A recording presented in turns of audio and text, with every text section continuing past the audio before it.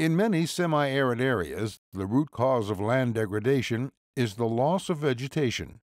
This leaves the land bare and vulnerable.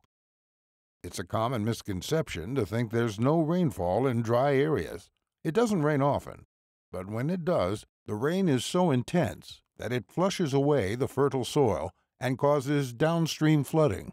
And because the soil is bare, it is impossible for the rain to infiltrate into the earth. Most of the water flows away unutilized, and the area remains dry and hot. Vegetation hardly emerges, and the hot, dry air no longer triggers rainfall. The solution is simple bring water underground by retaining the rainwater and allowing it to seep down into the soil. The water allows seeds still present in the soil to sprout, and the natural vegetation quickly returns.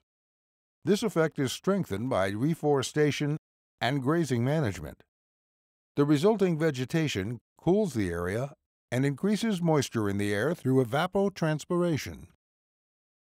When the intervention is large enough, this triggers clouds to release rain where they wouldn't have otherwise.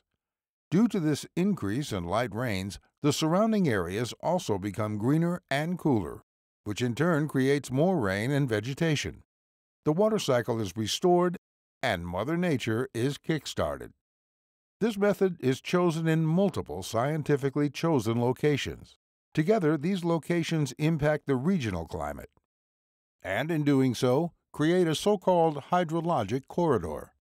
The network of interventions on the ground results in atmospheric cooling and more evenly distributed rain on a large scale. This way, we can mitigate global warming and help to revive the planet. All great things have small beginnings. We know where to begin. Just dig it.